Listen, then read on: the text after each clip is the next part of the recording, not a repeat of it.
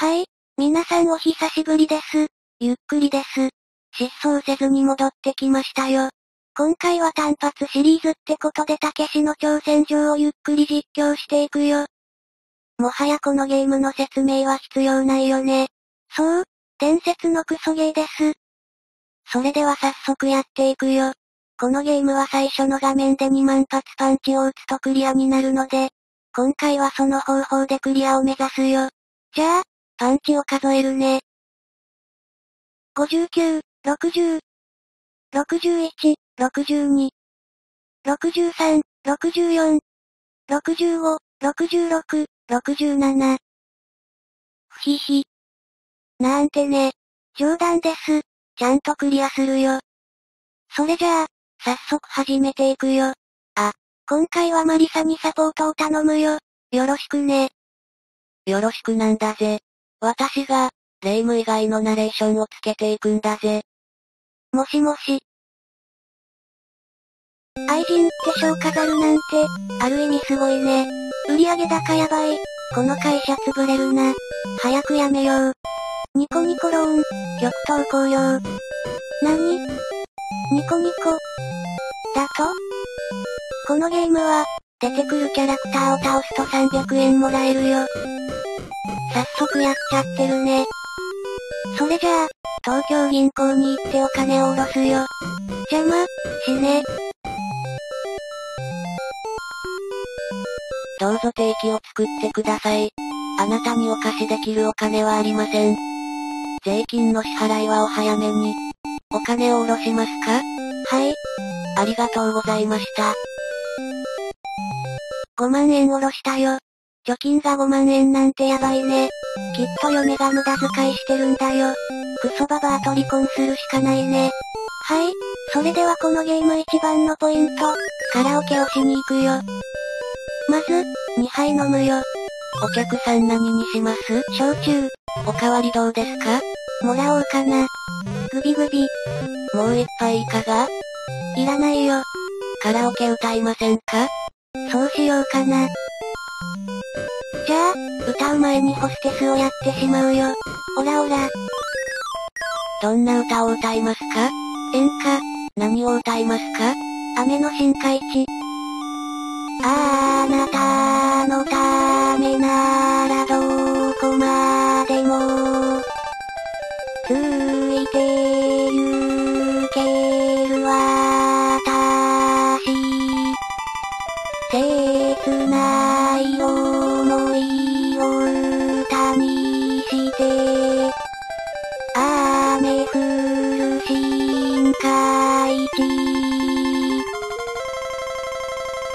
さんうまいですね。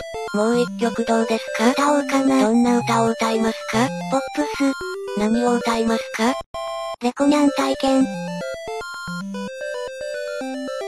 私の気持ちはいつでも飛んでいる。それでもなんだか沈んだ気持ち。お客さんうまいですね。もう一曲どうですか？歌おうかな。どんな歌を歌いますか？童謡。何を歌いますか？ハトポッポ。ポッポッポー。ハトポッポー。豆が欲しいか？空やるぞ。みんなで仲良く食べに来い。いい加減にしねえか。なん？だと？ゆっくり伸びせよ。なんたる無礼者。成敗してくれるわ。じゃあ、やめてほしいんだぜ。せっかく苦労して店を建てたのに。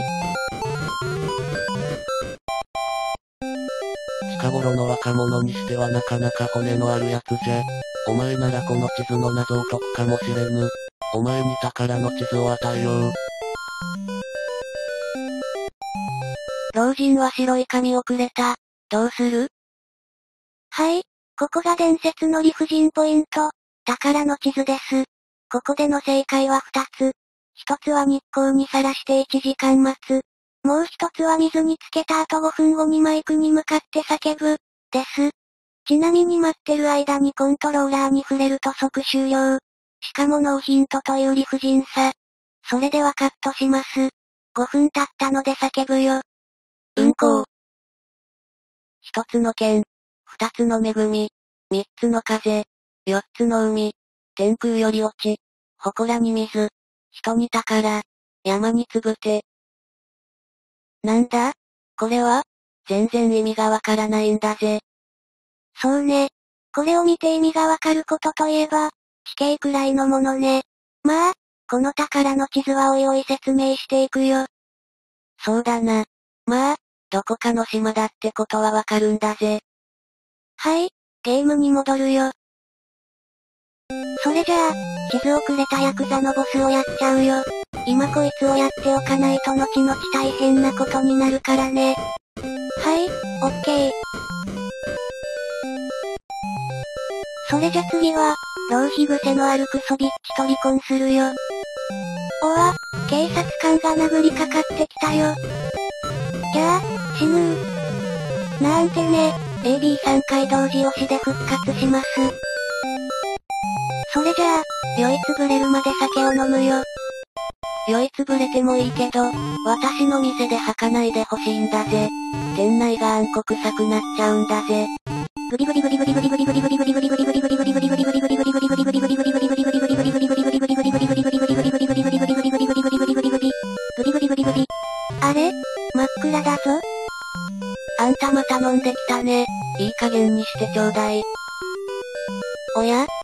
か言いたいことがありそうだね。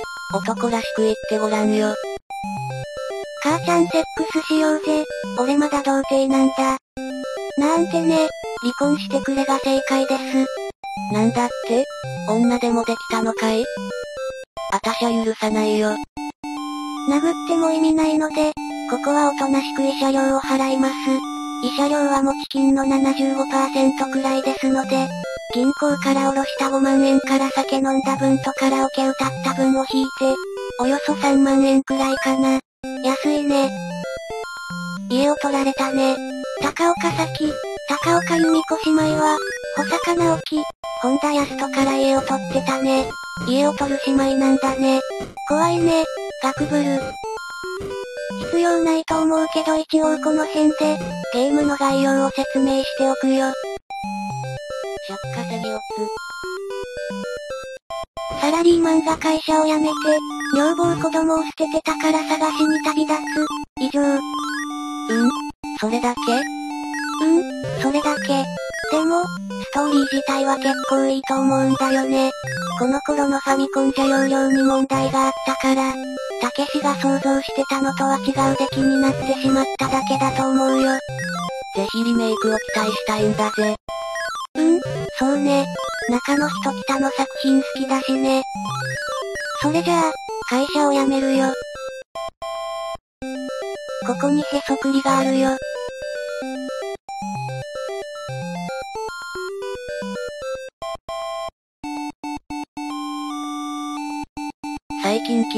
績はどうも良くないな。ボーナスが少ないのもそのせいだぞ。今後はもっと頑張ってくれ。うるせえハゲ。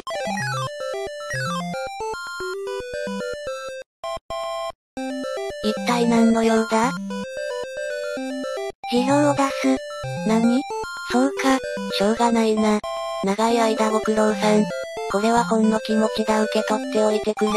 ここで変な選択肢を選んでしまうと、退職金が出なくなるので気をつけてね。ついでに社長を殴っておくよ。お前はもうやめてるだろ。もう一回殴っておくよ。じゃあ、体が机にめり込んだんだぜ。はい、会社を辞めたよ。辞めておかないと、後々ダメになるのでちゃんと辞めようね。ニートーツ。はい次は、必要な資格を取るよ。ヤクザが邪魔だね。この世から消しておくよ。ついでにジジイも消しておくよ。どのコースになさいますか？語学。どれにしますか？ヒンタボ語。5万円です。よろしいですか？ああいいよ。ありがとうございました。どのコースになさいますか？スポーツ。どれにしますか？ハンググライダー。5万5千円です。よろしいですか？ああいいよ。ありがとうございました。どのコースになさいますか？音楽。どれにしますか？三味線。4万5千円です。よろしいですか？ああいいよ。ありがとうございました。そういえばマリサどこにいたの？気にしないでほしいんだぜ。はい、これで資格はオッケー。厳密に言うと三味線は必要ないんだけど、今回は取りました。チンコ、金玉デルデル、ゲフンゲフン、パチンコ、玉デルデルで三味線を手に入れるよ。三味線は4000発必要なんだけど、そこまで増やすと、お客さんパチプロは困りますよ。ってなって止められちゃうので、別の方法で手に入れるよ。まず適当に弾を買って全部無駄打ちします。そういえばこの曲は軍艦マーチって言うんだけど、今この曲流してるパチンコやってあるのかな？中の人はパチンコしないからよくわからないけど、今更ないよね。はい、全部減らしたら台に向かって叫ぶよ。中の人は、童貞。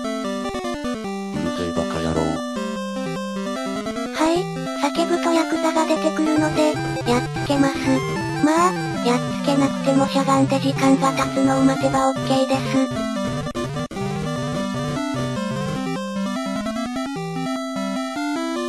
意外に弱いな。お、こいつら随分子もあった。儲かったなぁ。はい、オッケー。景品は何にしますか、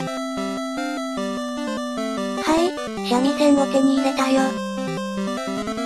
ありがとうございました。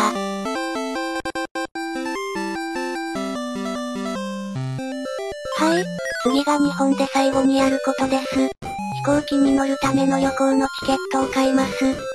トラベル玉川に行くよ。無駄に10人をやってますね。どこ行きのチケットですか？はい、皆さん宝の地図を覚えていますか？この選択肢の中で一番妥当なのは南太平洋だということがわかりますね。はい、オッケー。これで日本でやることは全て終わりました。それでは、新成田国際空港へ向かいます。はい、それではこの辺で中の人の近況を少し話しておきますね。前作から見てくださった人なら覚えてくれているかもしれませんが、中の人は振られたショックからも立ち直り、新たに好きな人ができたみたいです。まあ、まだ普通に会話する程度なので、進展があるってわけではないのですが、そろそろバレンタインなんですよね。そこで、逆チョコで告白するか、もう少し様子を見てから、ホワイトデー以降に持ち越すか悩んでいます。おそらく、バレンタインはギリすらその子からもらえないと思うんですよね。だから、もっと友達として仲良くなってからにした方がいいですかね？童貞の皆さんの貴重な意見をよろしくお願いします。あ、女性でこの動画を見てる人は少ないと思いますが、女性の方もやりまんならアドバイスください。でも、この動画は7割の童貞と、3割のやりまんで成り立っているので問題ないと思います。ていうか、ニコニコの7割は童貞、3割はやりまんなので大丈夫ですね。ひひ。はい、飛行機で出発しましたね。日本でのフラグをクリアしてないと飛行機は必ず爆発します。レイム、私の出番少ないんだぜ。まんじゅう勝手に出てくるな。お前もまんじゅうだろ。はい、マリサがうるさいですが、オッケー。無事着きました。前編はここまでです。最後まで見てくれてありがとうございました。それでは後編まで、ゆっくりしていってね。はい、後編のスタートです。南の島に来たのでゆっくりもスーツからサファリルックに着替えましたよ。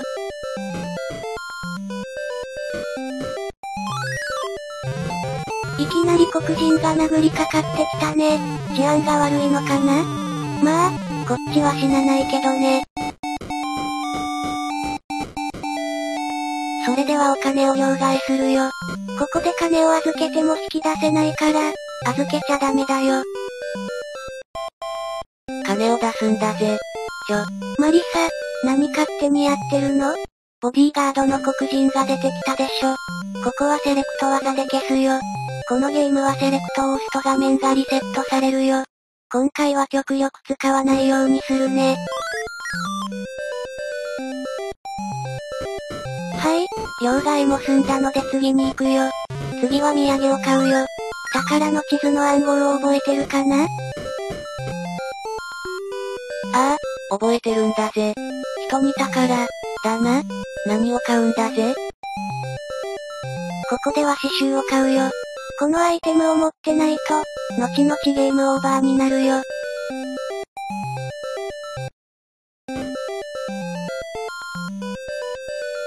ついでに宝を見つけた時用に宝の箱も買っておくんだぜ。マリサ、勝手に浪費しないでよ。今は金に余裕があるから大丈夫だけど、ギリギリの時は無駄遣いしないようにね。最悪、10人を倒して300円ずつ貯めることもできるけど、カジノで一発勝負するのもいいかもね。次は、イクイップメント、つまり装備を固めるよ。丸腰ではこのゲームをクリアすることはほぼ不可能だからね。ここで地図の暗号なんだぜ。祠に水、つまり水筒を買うんだぜ。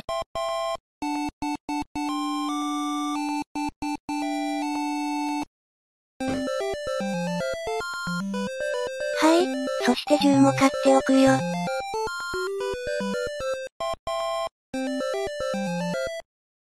銃を手に入れたので、攻撃方法を変えますね。これで住人を皆殺しにできるよ。見ろ、人がゴミのようだ。ちょ、レイム、やりすぎなんだぜ。まんじゅうの角紙にも置けないやつなんだぜ。殺したら体力を回復しようね。ホテルに泊まるよ。ここでは最高級に泊まって体力を全開にしておくよ。まさか、ロビーで眠らされるとは、とんでもないホテルだ。はい、それでは宝の島へ行くよ。このゲーム最大の難所、ハンググライダーで出発するよ。レイム、ここは私にやらせてほしいんだぜ。私は、ハンググライダーのマリサの異名を持っているんだぜ。はぁ、聞いたことないけど、まあいいか。やってみてよ。あれ？ここで不審な編集点がある気がする。レイムやめるんだぜ。それじゃ行ってくるんだぜ。バリバリバリ。バリバリバリ。ってハンググライダーにエンジンついてないでしょ。うるさいんだぜ。それでは出発。はい、ちょっと解説するんだぜ。ハンググライダーは前後、下への移動は自由にできるけど、自力で上へ移動することはできないんだぜ。上へ移動するときは、さっきから杖を横にしたようなやつが流れてるけど、それに触れると上へ移動できるんだぜ。つまり、できるだけ高度を保ってた方がいいってことね。うん、そうだな。そして鳥が出てきてるな。こいつらは突貫してくるので銃で倒すか、避けるかしていくんだぜ。野鳥保護職員のものですが、え？マジ？あのー、その違うんです。ゲームなんですよ。話はゆっくり事務所で聞くから、とりあえず来て。マリサは連れて行かれたのでこっからはレイムがやっていくよ。地図の暗号の、つの風、四つの海、天空より落ち、ってあったね。三つの風は風に乗って、つまりハンググライダーのこと。四つの海は四つの海を越えてのこと。天空より落ちは着地するってこと。このゲームはセスナもできるけどセスナは着陸できないのよね。神回避の連続。そしてここで風に乗って一段上に上がってるね。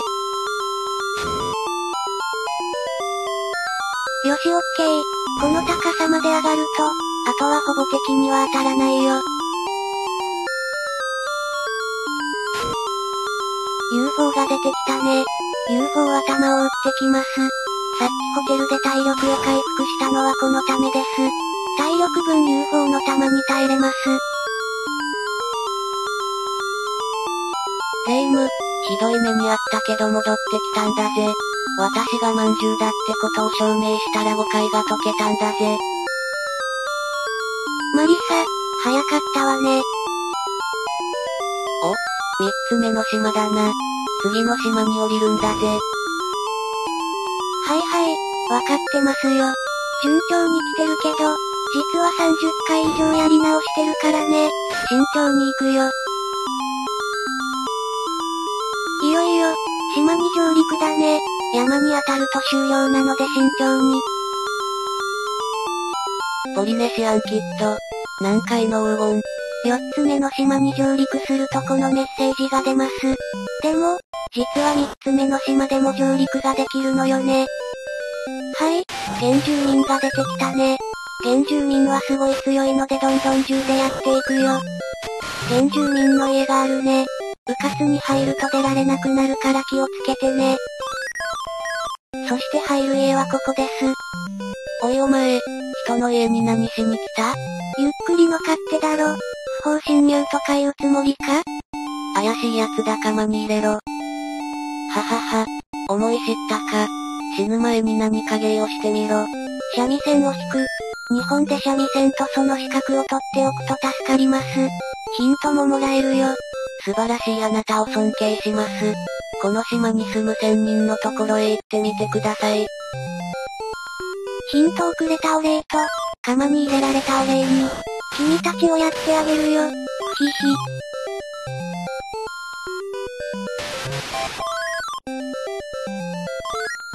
それでは森を抜けて仙人に会いに行くよ。ここに出てくる猿の木の実攻撃はすごいダメージを受けるので特感せずにちゃんと避けていこうね。ちなみにこの森の中に、日本人の隠れ家があるよ。はい、無事に森を抜けたね。仙人のいる祠まではもう少しあるよ。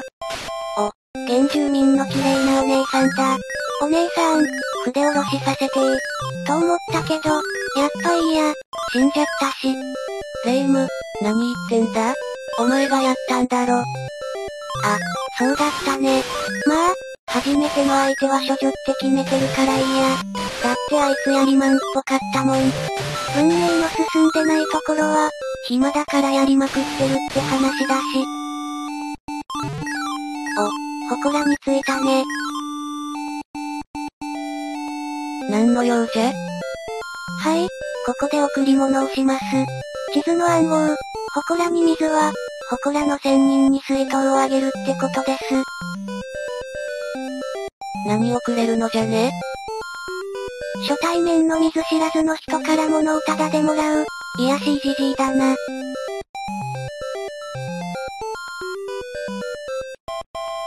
これは便利じゃもらっておこう。お礼に宝を手に入れるヒントを教えよう。宝への鍵は村にいる人が持っている。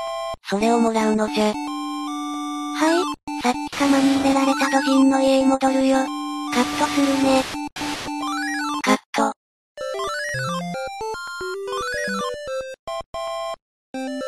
お前、人の家に何しに来た？贈り物ですよ。何をもらえるのですか？さっきまでお前呼ばわりだったのに、何かもらえると思ったら急に敬語になったな。お礼にこの村に伝わる聖なる石を差し上げます。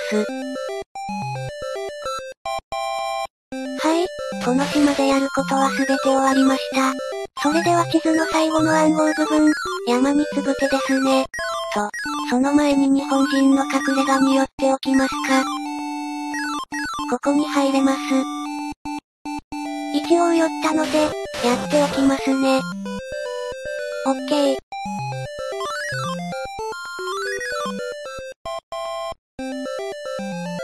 あ、またお姉さんだ。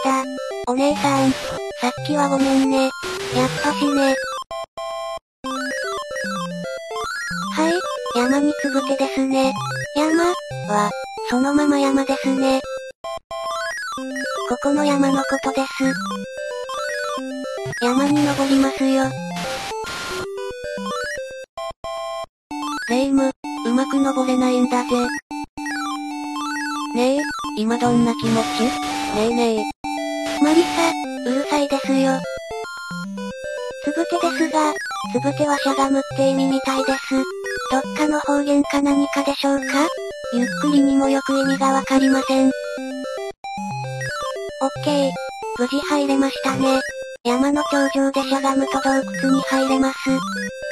こっからは、ほぼ一本道ですが、いくつかのワークポイントのようなものがあります。ワープへの入り方は、ワークポイントでしゃがむ、ですが、ノーヒントで目印も何もないので、普通にプレイしたらまずわかりません。あと、虫が鬱陶しいです。やるときはセレクト技で消していくといいでしょう。はい、一つ目のワークポイントはここです。オッケー。ここからは盗賊が出てきます。盗賊も素手で殴りかかってくるだけなので、しゃがんで銃を撃ってれば簡単にやれます。それでは右へどんどん進んでいきましょう。じゃあ、私虫苦手なんだぜ。マリサ、何言ってるの？虫まんじゅうのくせに。レイム、蒸気の方の虫じゃなくて、昆虫の方なんだぜ。ボケを説明しないでよ。恥ずかしい。二つ目のワークポイントはここです。天井からチンコが3本生えてるここです。はい、オッケー。ここから骸骨が出てきますね。もはや探検ゲームの定番です。じゃあ、レイム、怖いんだぜ。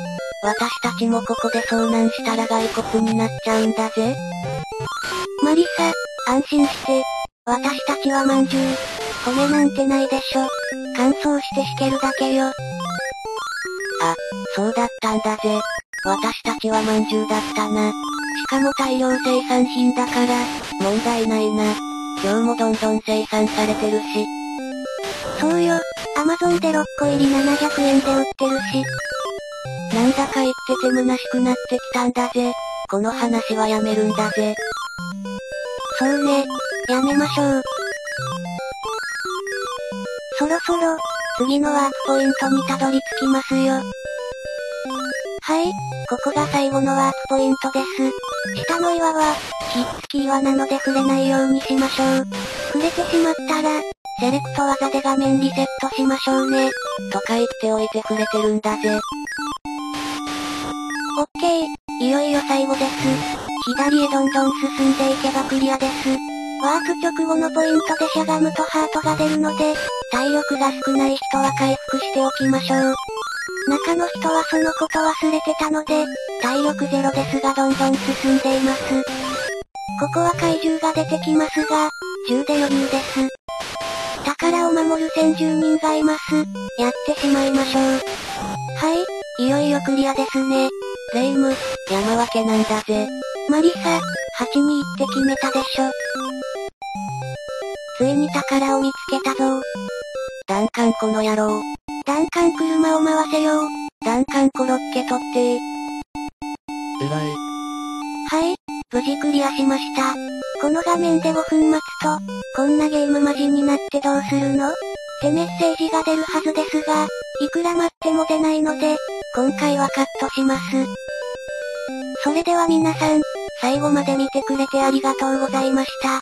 前作から随分時間が空いてしまいましたが、失踪せずに単発を作れてよかったです。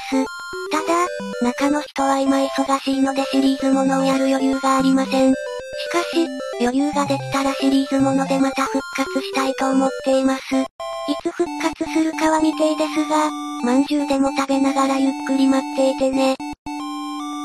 それでは次回作で会う時まで、ゆっくりしていってね。